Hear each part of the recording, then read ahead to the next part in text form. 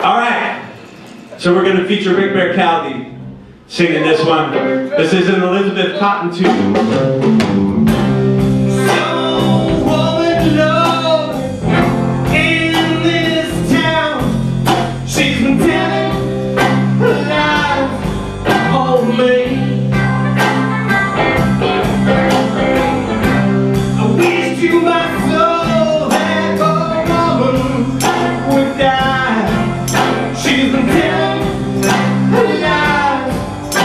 lonely